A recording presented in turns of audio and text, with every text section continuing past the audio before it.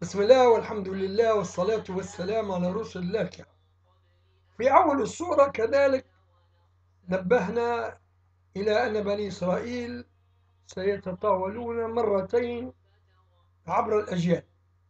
المرة الأولى حين فتح الله لأمة الإسلام فتحا عظيما. قال ربي فإذا جاء وعد أولاهما بعثنا عليكم عبادا لنا أولي بأس شديد فجاسوا خلال الديار وكان وعدا مفعولا.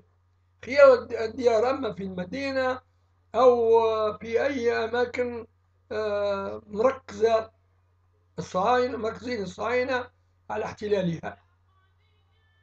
وقرأوا تاريخ الإسلام كيف كان اليهود أهل أهل الخسران كانوا كل ما يتآمروا على الإسلام إلا في الحقيقة يعزلوا بنايتهم وإخراجهم من ذلك المكان إما الخراج بالموت أو بالبعد إبعاد.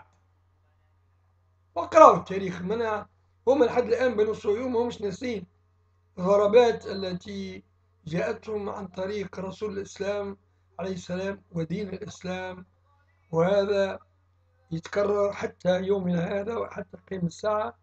بعد رب يقول إن أحسنتم أحسنتم لأنفسكم وإن أسأتم فلا قالوا لا تعلون علوا كبيرا هذا في خيبر وغيره كان العلو على حساب الكرب الآن علوم على حساب من يدعون الإسلام بغير حق.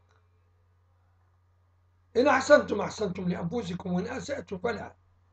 فإذا جاء وعد الآخرة ليسوء وجوهكم أي آل محمد عليه الصلاة والسلام. ولباس شديد باش يناوشوكم حتى يظهر في الأغلب فيكم علامات آه، الإرهاق والمذلة والخوف الشديد أي الهول. هول أنا ماكث على صدورهم وكل لحظة يتوقع أن نهايتهم قد قربت ومن تعليم الله لهم أن لم تأتي تلك اللحظة اليوم يخشونها. قد ربما كيف تجي اللحظة ذيك يزول عذابهم في الدنيا وينتقلوا إلى عذاب قبور أي حفر حفر جهنمية أثناء رحلتهم البرزخية نعود إن شاء الله.